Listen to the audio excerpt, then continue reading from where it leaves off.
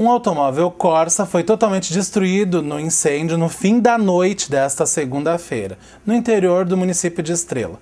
O Corpo de Bombeiros foi chamado por volta das 11h30 da noite, deslocando-se até a Estrada Geral de Linha Geraldo.